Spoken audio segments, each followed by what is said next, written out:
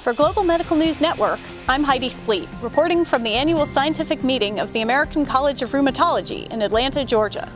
Children with juvenile idiopathic arthritis were approximately twice as likely as control children to have some form of cancer.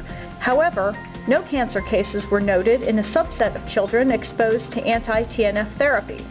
Since the introduction of TNF inhibitors in, in, clinical practice, there's always been concern about a possible increased risk of malignancy associated with them.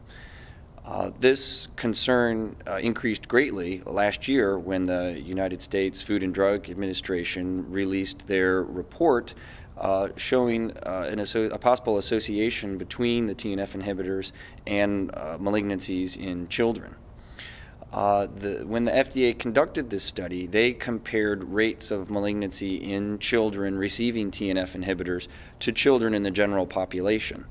This is uh, perhaps not the best comparison that could be made because it raises other questions regarding uh, possible uh, risk of increased malignancy from other drugs that the children were receiving, such as methotrexate, or from the disease process itself.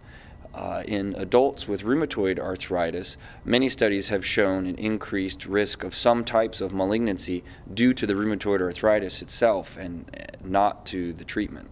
Well, what we found was uh, an increased rate of malignancy uh, of about two to three fold compared to children without JIA.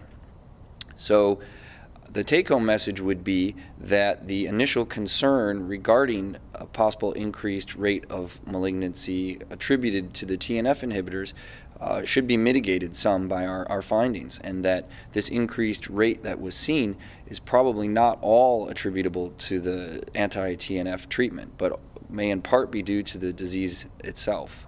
Unfortunately, we didn't have enough data to make any definitive conclusions regarding the association of TNF inhibitors uh, and malignancy. So that still remains an open question. So we'd like to collect additional data and additional follow-up to have a more definitive answer regarding this association.